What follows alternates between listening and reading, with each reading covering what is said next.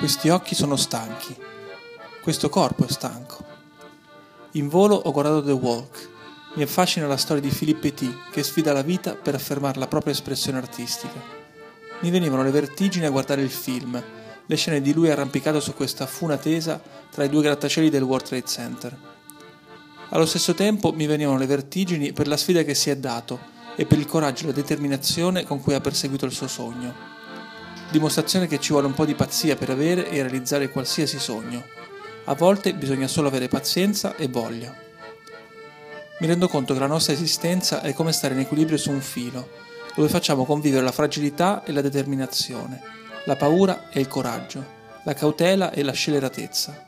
Il trucco è guardare poco in basso e pensare poco, mantenere la concentrazione.